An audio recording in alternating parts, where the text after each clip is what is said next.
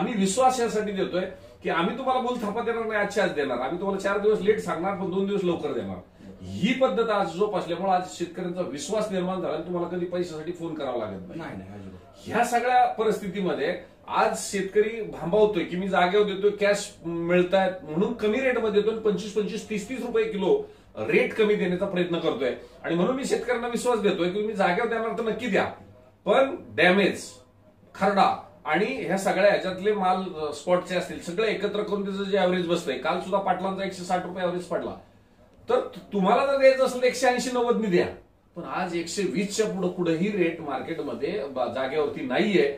आणि माझा हा संकल्प आहे की ह्या क्लिपा पाहून हा काही मी तीनशे रुपये गेला आणि दोनशे गेला आणि अडीचशे गेला हा रेट सांगण्यात मला इंटरेस्ट नाहीये. कारण एक कॅरेट विकायचं आणि दिडोरा गावभर पिटवायचा केडी चौधरीने ह्या रेटमध्ये विकलं. तुमची सरासरी ऍव्हरेज काय बसलंय हे महत्वाचं ठरून आपण आज जो उपक्रम चालू केलाय हे हेलिकॉप्टर हे एक स्वप्न आहे. आपण कधीतरी ह्या हेलिकॉप्टरमध्ये बसावं किंवा आपल्याला वरून हेलिकॉप्टर गेल्याच्यानंतर वाटतं की अरे आपण ह्याच्यात बसलं पाहिजे. पण तुमच्या परिश्रमाला तुम्ही बसता त्यावेळेचा आनंद खूप वेगळा असेल. तुम्ही प्रवास करताना विमान प्रवास केला तुम्ही कुठल्या शहरातनं कुठल्या शहरात गेला त्याला जास्त किंमत नाहीये. पण तुम्ही सन्मानानं त्या ह्याच्यात उंचीवरती बसलाय आणि हे अमृत महोत्सवी वर्ष असल्या कारणानं. मी जो संकल्प केला मी त्या संकल्पामध्ये मी त्या संकल्पनामध्ये की एक भावना निर्माण केली की बऱ्यापैकी मला ह्या सगळ्या वस्तुस्थितीमध्ये की मला कुठंतरी माझा शेतकरी हा कुठंतरी उंचीपर्यंत पोहोचवायचा आहे आणि त्यांच्या त्या उंचीपर्यंत पोहोचत असताना उंचीपर्यंत मला पोहोचत असताना ह्याच्यामध्ये आपल्याला शेतकऱ्याचे सन्मान हा भविष्यामध्ये वाढवत असताना आज बाजारपेठेमधला जो मिळणारा रेट आणि बाजारपेठेमध्ये त्या मालाला मिळाला सन्मान आणि बाजारपेठेमध्ये आल्यानंतर त्या उत्पादित केलेल्या कुटुंबाला मिळालेला सन्मान हा तुमच्या माझ्यापर्यंत पोहोचला पाहिजे. आणि ह्याच दृष्टिकोनातून आज तुम्ही या ठिकाणी विशालराव एक चांगलं काम करताय. आणि म्हणून मला तुमचा हा संकल्प शेतकऱ्यापर्यंत पोहोचवायचा होता कारण आज तुमचं चौतीस वय तुमचं शिक्षण पण माझ्यामध्ये चांगलं झालं असावं.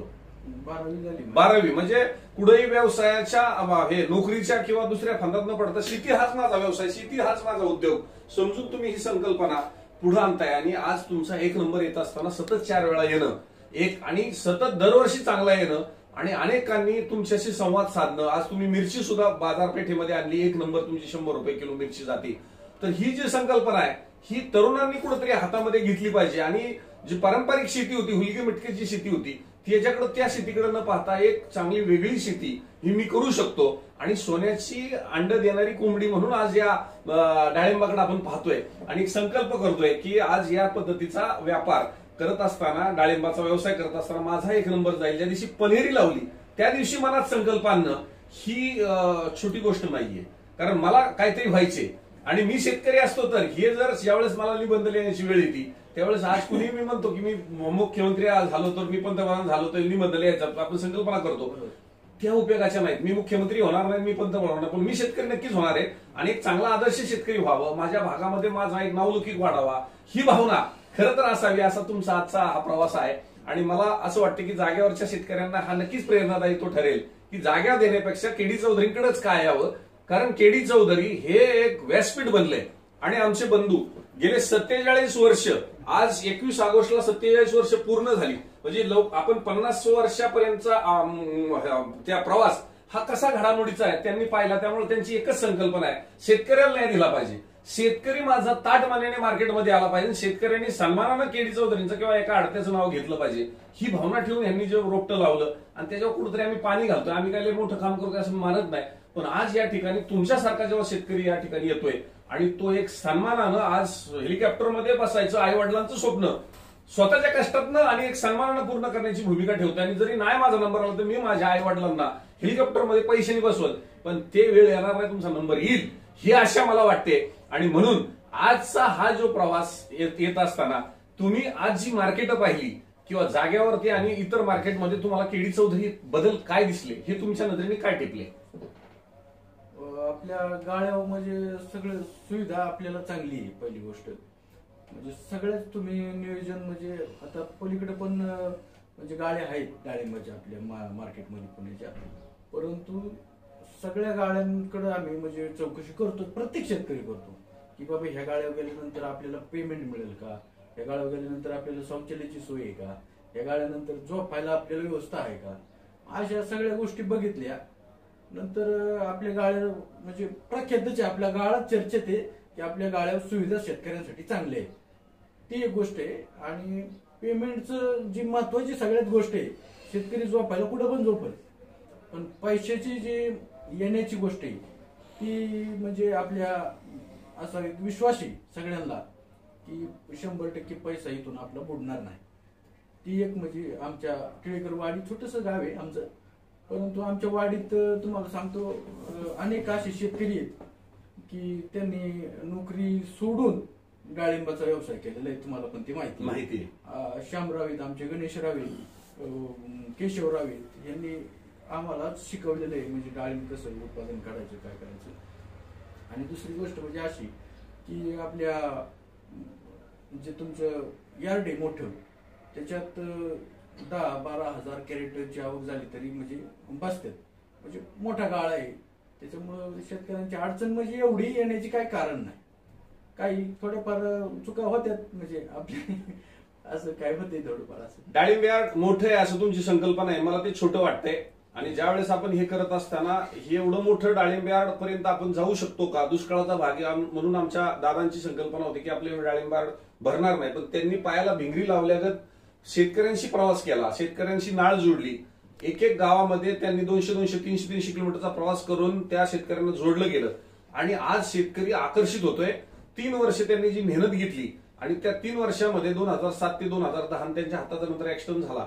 आणि त्यानंतर त्यांनी बाहेरचा प्रवास थोडासा थांबवला. पण आज जे पेरलेलं एवढं उगवतंय की आज प्रत्येक जण सांगतो की दादा आमच्याकडे येऊन गेलेले आहेत. दादांनी आमच्यासाठी हे केलं. दादांनी आम्हाला चांगलं मार्गदर्शन केलं.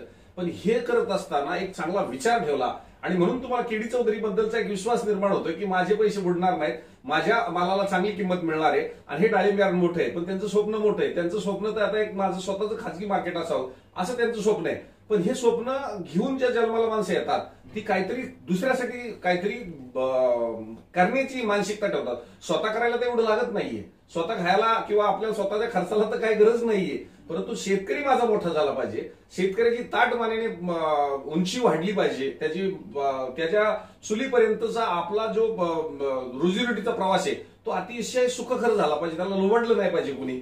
आणि त्या सुखात त्याच्या कुठंतरी आनंदाच्या दोन घासात केडी चौधरींच्या मुळे मला हे वैभव प्राप्त झालं. केडी चौधरींच्या मुळे मला एक चांगला न्याय मिळाला. ही भावना त्याच्या मनात निर्माण व्हावी.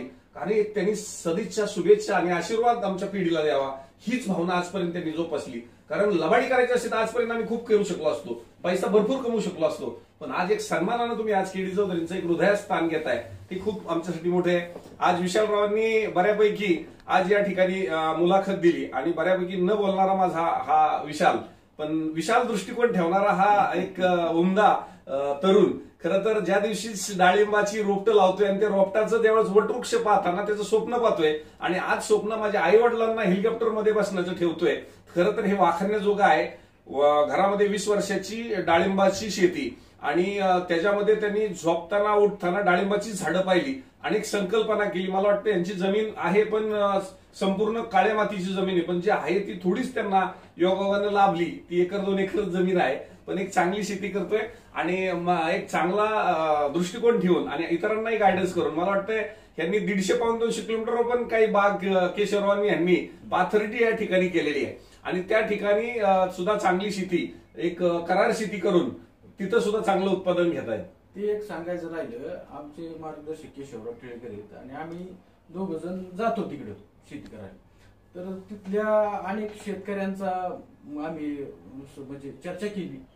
तिथल्या शेतकऱ्यांना डाळिंब पिकवण्याची एवढी माहितीच नाहीये. आमच्या त्या झाडाचा माल बघून त्या म्हणजे कराड साहेबांनी आम्हाला जी बाग दिली त्या बागेतला इतर शेतकऱ्यांनी माल बघून आम्हाला तिथं म्हणजे अभिनंदन केलं त्यांनी की बाबा एवढा चांगला माल आमच्या भागात अजूनपर्यंत आम्ही पाहिलाच नव्हता. म्हणजे असा तिथला माल आपल्याच इथं ते पण मार्केट आपण आणतो. त्याची चांगलं म्हणजे शंभर रुपये किलो आम्हाला सरासरी पडली त्या दिवशी. चांगलं म्हणजे तिथल्या पण मालाचं आम्हाला पैसे झाले. बऱ्यापैकी विशालरावांनी जी आज मुलाखत दिली आणि खऱ्या अर्थानं त्यांनी बाजारपेठेमध्ये येताना नुसता केडी चौधरी नाव ऐकून आले. तर आजूबाजूच्या पेढी सुद्धा पाहिल्या किंवा इतर मार्केट पाहिली किंवा जागेवरती सुद्धा जो व्यवहार होतोय तो पाहिला. आणि त्या व्यवहारातनं त्यांना केडी चौधरी हे नाव अगदी आपुलकीचं वाटलं विश्वासाचं वाटलं. आणि म्हणून तुम्ही इथपर्यंत आला आणि अनेक शेतकऱ्यांना ज्यावेळेस सांगताय त्यावेळेस हक्काने सांगताय की केडी चौधरीकडे माल पाठवा. किंवा तुमच्याशी संपर्क करणारे अनेक लोक तुम्हाला आता ज्यावेळेस कॉन्टॅक्ट करतायत. तर मी अशा शेतकऱ्याचा खरं तर मी एक सन्मान करत असताना मी सन्मान करल एक मिनिट दोन मिनिटामध्ये सन्मान. पण तो दोन मिनिटाचा प्रवास तिथपर्यंत पोहोचायचा हा अवघड प्रवास त्यांनी गेले दोन वर्ष पार पाडलाय. तर मी मनापासून विशालराव तुम्हाला शुभेच्छा देईल. तुम्ही आज या ठिकाणी चांगली मुलाखत दिली आणि पहिल्यांदा सांगितलं की मला बोलता येत नाही पण चांगलं बोलला. आणि बोलताना हृदयातनं बोलला त्याला पुढे पाठांतर करावं लागत नाही. तर हृदयातली बोलणी ही ज्यावेळेस ओठावी ती ती खूप वेगळी असती आणि त्याची चव पण खूप वेगळी लागते. अशी तुमची आजची मुलाखत झाली. धन्यवाद. धन्यवाद.